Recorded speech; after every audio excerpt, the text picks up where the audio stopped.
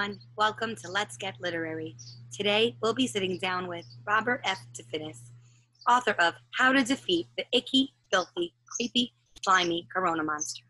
Sometimes, as parents, it's hard to explain what's happening in the world, especially with the COVID 19 pandemic. So, we'll learn a little bit about how we can teach our children to stay safe, stay healthy, protect themselves, and those around them. Hi there, how are you? How you doing? I'm good. Thank you so much for joining us today.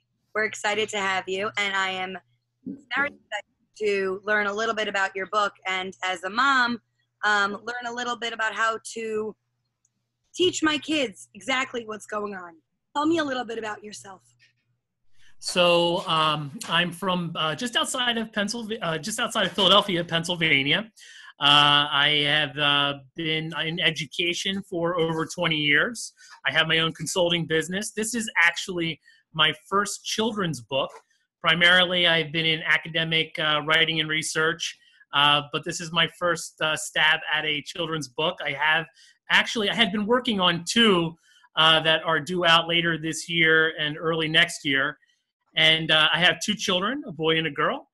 Uh, Penelope, she is five, and Robbie, he is 11. So tell me a little bit. You mentioned this is your first children's book that you really kind of sounds like you sped it up a little bit. Why now? Why was this the time that you kind of said, I'm going to do this now and I'm going to get this message to parents and children?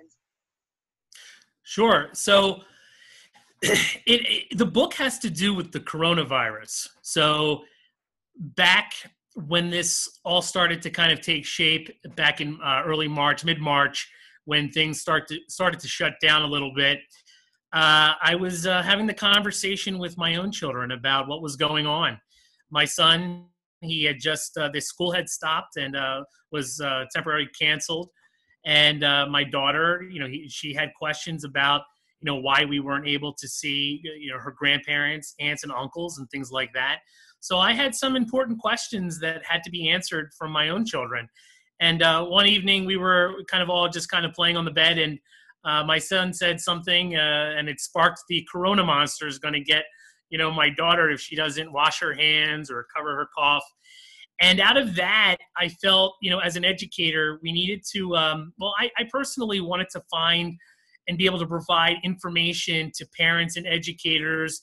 I believe that some of the best things, educational resources, obviously, are geared towards children. And I felt that this was the right time. Uh, the book kind of came together within two weeks. Uh, like I said, I had been working on other books, and they have been they've been a slow process because I'm always, you know, I think as a writer, you're it's hard to give your information out. We want it to be perfect, right? We want the illustration to be perfect. We want the story to be perfect. Um, and I'm not saying that this book isn't perfect. I'm just saying that I think it was very timely. It had to get out. The message was important. Uh, it has been well received. And I just think that parents and educators are looking for good quality information to share with their children. I like how you made it a rhyming book. I thought that was very engaging to the readers, um, to the kids who read it. They kind of get to flow with it. But I also like how you didn't shy away from the serious things. You know, you said how symptoms can be pretty severe and they have to really care about themselves and take care of themselves. I think that as a mom, it's been a struggle trying to teach my children the severity of it without um, scaring them, quite honestly, right? Because you still want them to feel comfortable and you want them not to feel paranoid no matter what they do, but you need to explain to them when you see your friend from a distance, this is why you cannot hug them. You cannot play ball with them just yet. You cannot share a snack with them, you know? And I think that was important. How did your children take this book when you read it to them? So the first, you know, when I first uh, was throwing some some words together, it wasn't necessarily rhyming, and then it just it. The reason I went to rhyme, uh, I think it was because mostly children.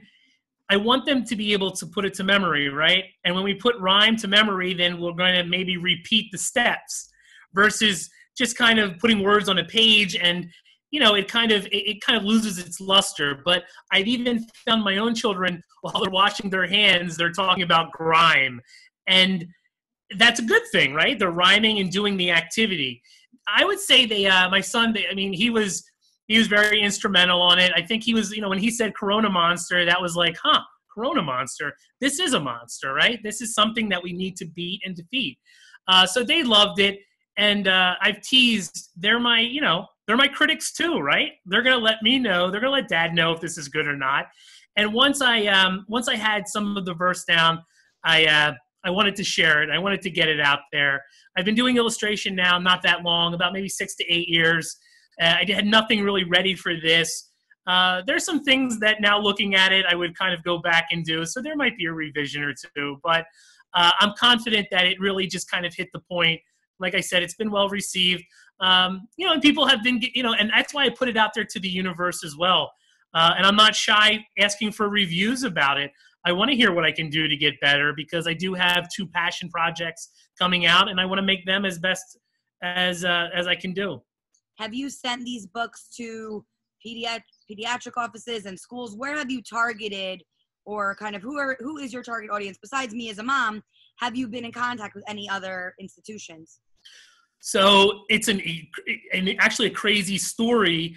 Uh, some of us authors that have written about the coronavirus we actually had our so my book was published on august 11th i'm sorry april 11th sorry april 11th and immediately some of us, our books were flagged by Amazon because Amazon developed a quick policy. Obviously, they were concerned about uh, bad information getting out there, and my book was immediately flagged. I'll just save you the story, but it took almost a month to get the book approved on Amazon's platform.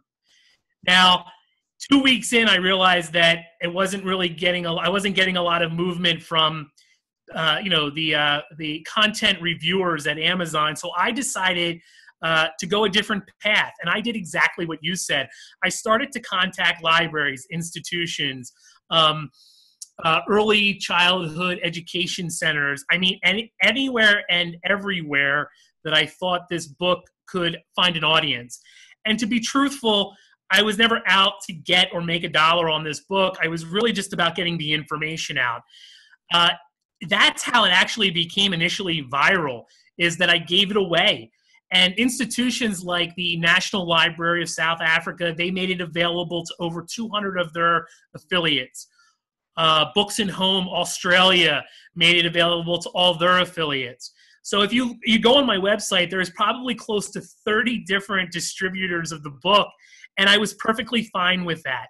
And then finally, I you know I, I say Amazon kind of came to their senses and they started proving our books, um, then it took off on Amazon. Uh, I think right now, the last I checked on the platforms that I monitor, it's close to 22,000 downloads, uh, maybe just uh, shy of 3,000 sales.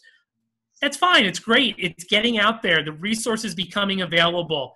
I also, one other thing that I did that I thought was very important, and I did it this morning, is virtual read alouds. Um, I had uh, three kindergarten classes today from Southwest Philadelphia online today, reading to them as in one of their last days of school and talking about the coronavirus. So the more I can get this information out, the better I feel because it's just a good message. What were some of the questions that the kindergartners asked you today? So I actually made the book also into an activity book. So I made it. Um, I took the book made it an activity book with guided questions at the bottom. And then also you can color in it. So you can color and use the questions. And uh, so we would, um, we were doing like a little bit of popcorn reading and going back and forth. It was amazing. I mean, listening to, I was a little worried and I, when I first wrote the book, I put some, you know, I, I put some big words in there, you know, persistence. And, you know, I saw, yeah, yeah. You know, and some and I got feedback and people were like, you know, maybe that's a little bit too high. I said, you know what? That's going to stop and they're going to ask questions and that's what we want. What does persistence mean, right? So they're good benchmarks within inside of the book to stop and talk about these things. And um, the, the, the kids were amazing. I was blown away by their, you know, understanding of like social distance. That's a new concept for a lot of us, right? You know, we may have understood what social distance was, but this is a whole nother concept that we're introducing to children.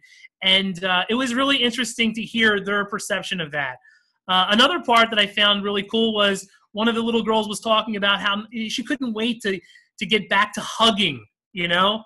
And missing hugging. And it was such a small part of the book, but yet to her, she's like, we don't, if you think about it, when we teach kids, we kids are social interactors, right? We kind of get close to them in proximity. And she was just, you know, she was like, I, I can't wait to hug again, hug my friends, hug my grandparents. And that kind of, um, you know, that resonated with me. It's funny you say that. My mother comes over now at a distance, of course, and we were playing bingo. Hindy's libraries ran a bingo the other night. And my daughter's sitting on one end of the table I'm on, my mother's sitting where I am. And she just looks at my mom and she goes, Can't wait to hug you again. Yeah. And it's it's just these things that you you took for granted. And now because we're breaking everything down and we're telling them what you can and can't do, they're really understanding and they're really feeling that loss of social interaction. And I think your book kind of helps them understand why. So it's very important for him to have a tool for him. You know, we read the news and we read CDC guidelines, but he needs something that he can kind of comprehend. And I think this was really awesome. Uh, about three weeks ago, I was starting to notice because again, Amazon was approving new books and uh, we're starting to see additional authors take the space, which is uh, amazing. Um, I started to see a variety of children's books that uh, t- uh, tackled different aspects of what's going on. So I started to reach out to some of the other authors, and uh, there's 20 of us now, and we developed a um, uh, a group. Uh, we call it, um, you know, authors fighting COVID 19, and uh, we're just kind of doing our to, uh, collaborative promotions together to get our books read together because my philosophy is if you're going to read my book why not read a half a dozen other books that talk about somewhat some similar some similarity within the in the subject but they also talk about other things that i didn't consider as a, as an author. And uh, so it's pretty cool because you know we kind of banded together and there there's about 20 different authors that i'm working with right now to do some side projects to get our books in front of children. And you said it best. What my book may resonate or it may not resonate with a, with a child but over here there's another there's another source. There's another material. There's another way to tell the story. And i think that that's really cool. So we don't shy away from promoting other authors. And and another thing is you know this week some of us we've taken a little bit of a, you know a backseat to promoting our book because there are other issues in the forefront. And we are supporting other authors that are talking about other you know other things that aren't related to covid-19 like race relations and the importance of being good neighbors and things like that. So you know as a community authors kind of just you know we come forward we step to the side we step backwards we support each other in all of this and i think that that's also very important to do. You know i've been um, we've been interviewing about half a dozen so far in our podcast and everyone kind of feels the same way you do you know they all feel like they're part of this big team this big community. And even though they don't know each other personally they formed a bond whether they've met at a conference or at a workshop or on social media. There's now this band of brothers so to say and sisters yeah. um, that are working together as a team. And i find when i hear that it, it really speaks to me because you know when we began our nonprofit um, there's just two of us running the show um, and when we began, we didn't really know what we were doing. We were forming very organically, and people from all different circles started reaching out to us local organizations, organizations overseas. Um, and at first, we were kind of like, wait, are these competitors? What's happening? And then we realized, you know, we're just trying to get books into the hands of children. And if we can reach children in this part of the community or the country, and there's another group that's working with children in Asia or Africa or Canada, um, someone from Honduras emailed me. Why not work together? And I think that's very important now, especially like you said, right now, yeah. working together and being part of a big team is something people I think are just lacking and missing out. And I think that, you know, these messages that you spread, that your fellow authors spread, is just we're all in this together. And I don't mean by that just COVID 19 and then we're all struggling, but everything. Yeah. Um, and I think that that's very important. Like you said, it's it's something that we forget nowadays. I think. Yeah, when you're mission driven, then it doesn't really matter how we get the job done. Uh, I've been in the literacy space, it's one of my passions. Um, I've been the executive director of a, a nonprofit in Philadelphia that uh, was responsible for getting children on grade level reading by third grade. Uh, I didn't care how that got done. There are 90, you know, if you want to call them competitors, people looked at it as we had 90 competitors. No, we had 90 partners. Right. you know, Right. I mean, so we're all in this together to kind of figure it out because the mission is greater than any one individual. And sometimes that means that, you know, you have to adjust or change direction because you're not maybe your piece isn't valid anymore. And that and that's okay too. It's just there are bigger discussions that have to be had. And I think I think you said it best. Thank you. So tell me about those two projects you have going on. I saw them a little bit on your website. There it looks like they're still in sketch form, if I'm not mistaken, at least one of them. Yeah. Tell me a little more. So one of them, so the, I'll start with the one that's due out in August. So my my youngest, she's five, and she's going to be starting kindergarten, and um, she is a uh, you know I always call her refer to as an independent princess. She needs nobody. I have one of those. I know what it's like. and I I absolutely love it. Uh, but I know it, you know as I started this process back probably like um, December, and the idea came to me just a little bit different of a of a first day book of how a little girl who's very independent will tackle her first day of kindergarten. Interestingly, I'm actually doing a complete. That's why it's taken a little bit.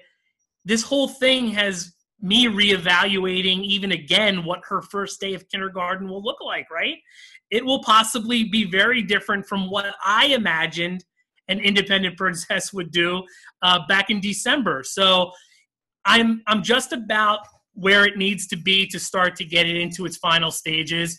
Uh, but it's been tough because like I've been really redoing major revisions, major illustration revisions on this and um, I'm good. I think we're going to have it August 1st, but it will look very different. I'm going to blend in a lot of the content related to some of the new guidelines and recommendations that are going to happen for our elementary school kids.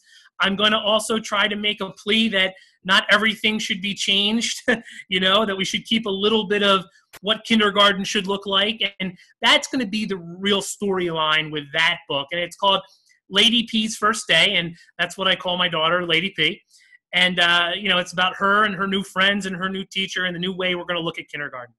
Uh, so I'm excited about to get that out into the hands right before before school starts in the fall. It's funny how you said, you know, I work for a school. I do admissions and I work with the teachers and the head of school, and we sit down every day um, virtually and we talk about what today what do we think it would look like in september and you know that changes. In fact, today in New York, they just released summer yeah. camp guidelines.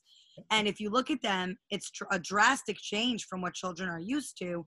So I'm sure that that uncertainty, um, it might be, you know, must be quite overwhelming to kind of have a book that falls in line with what they're expecting.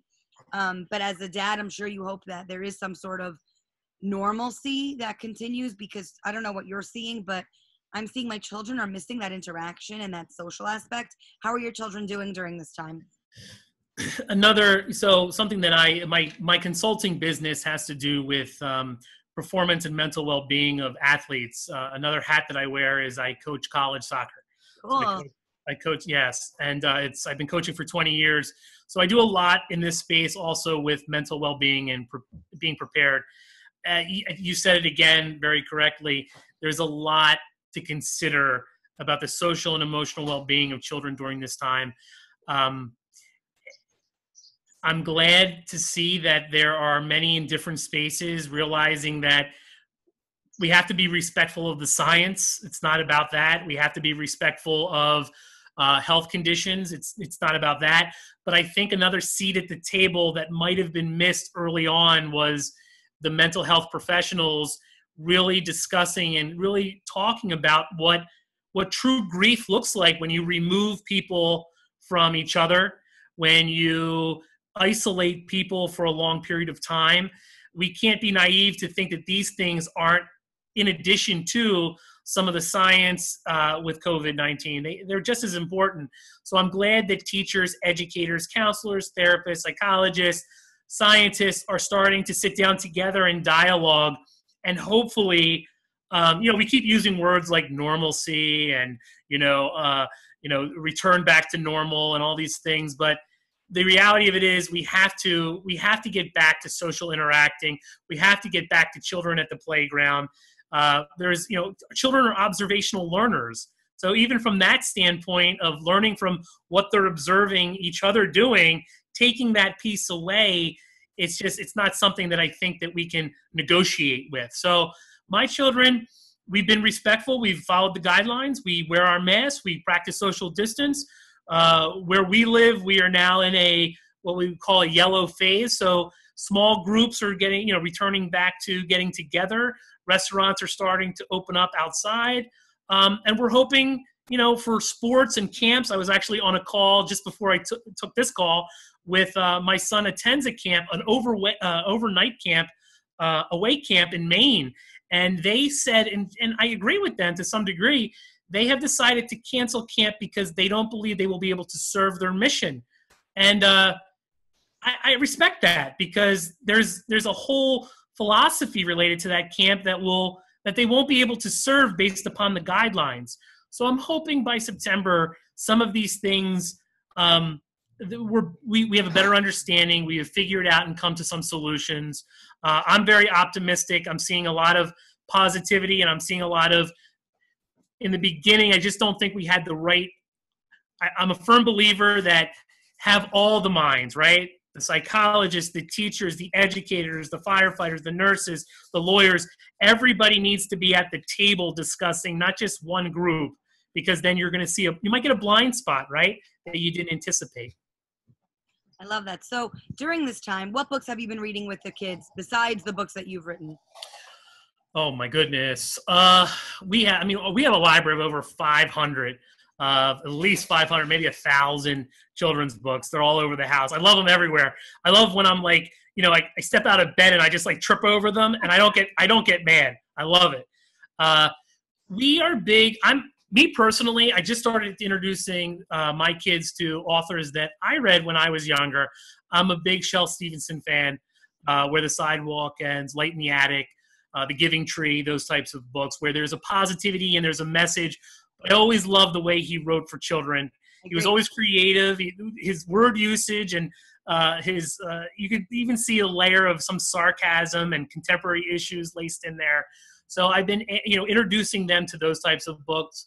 Uh, I love Jerry Spinelli, and then have your your classics, you know, Berenstain for my daughter, Berenstain Bears, Dr. Seuss. Uh, they are staples in uh, in children's literacy. But we'll pick up anything, you know. Uh, I don't turn anything down. I've also transitioned to kids. I I like physical books and um, I sold out of all my. I only had to start with 500 physical books, and they were gone immediately. I have another thousand coming in. Uh, they've been delayed because of everything that's been going on. Uh, but I've also, you know, I like the ebooks. You know, as an ebook author, you know, and on a, you know, on an iPad or on a Kindle, having them, you know, kind of flip through and try different types of books.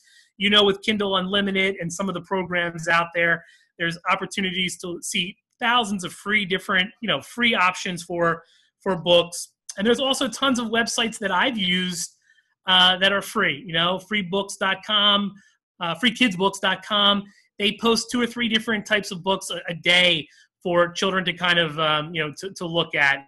So it's funny. Shel Silverstein has always been one of my favorites. I introduced him to my daughter. My daughter is going to second grade, so I introduced him to my daughter. Light in the attic, where the sidewalk ends. And funny enough, today on our Facebook page, we posted a piece of trivia that The Giving Tree almost didn't get published because editors didn't think there was an audience for it, which is crazy because it is such a staple, right, in children's lives. You get to learn about that.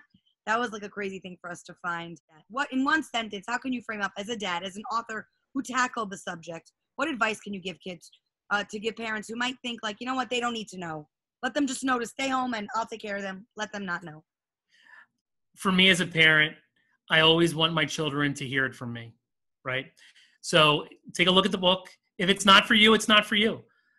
If it is for you and you, because I think it's actually, even though it's addressed towards children, uh, I've been told by adults uh, that they enjoyed it because it's quick, it's light, and it's very topical. So if those, if that applies to you, then be open to the space of providing it to your children. We're just here as authors to provide you some resources so you can create the space to have a bigger conversation. We shouldn't be, the authors aren't looking to be the only ones in the conversation. And now, my second question to you is for anyone who's listening who might want to become a writer and author, what advice can you give them as someone who has a book that's out, has some books in the works? What can you share with them? get started. Just do it. Just do it. I think I've also been I fall, I have fallen into that fatal uh, trap of it's not good enough. I'm not sure. Let me wait a little bit. Let me keep, keep tweaking. Put it out there. Put it out there. You'll get. Listen, their first one. It, your first. They, they say that right. Your first at bat might not be a home run. It's okay, right? But you're going to learn. You're going to take it. You're going to learn from it. So I would say move forward. If this is something that you want to do and something that you believe very strongly in, put it out there into the universe and let's see what happens. Create some action around your project. That's it. I love that. I mean, great steps. I think also for us, when we started our nonprofit, we didn't intend to start a nonprofit. We were just doing something in the school for Hindi. Uh, and it kind of grew. And we just kind of, you know, we called each other and we're like, should we just just dive in, just see what happens? And we just blindly, completely blindly, just dive right in. Um, and I think that's great um, words of advice. My final question for you is: Can you think of a children's book quote, something you read when you were a child, or to your children that really has stuck with you, that's resonated, that you could share with us? Well, you know, I think it's very timely, but uh, I love I love Dr. Seuss. You can't go wrong with Dr. Seuss. And uh, I think it's very important right now is uh, in Horton Hears a Who, uh, he says, a person is a person no matter how small, right? And uh, I think that that's important because we're all in this together. It doesn't matter your ethnicity, your race, your religion, or what you believe in, your creed. It doesn't matter. We are in this together. We're all Americans. We're all uh, God's people. And if we can work in some way to just understand that we all provide some type of uh, something good to the universe, let's just let's just figure it out together. And I love what Horton says, and I love Dr. Seuss's spin on it. And uh, yeah, that would be that would be it. Um, so where can our listeners find you? Tell us your Twitter, Facebook, Instagram. Tell us a little bit about where they could find your info. To keep everything simple, just at my website, I, all my stuff is there uh, my projects, my consulting, uh, the books, new books, uh, and my social media. It's drdefinis.com, D R D E F I N I S, drdefinis.com. Everything is there. The book is on Amazon. If you type in my name, you'll find me on Twitter and on Facebook. And uh, connect, you know, just become a community with me.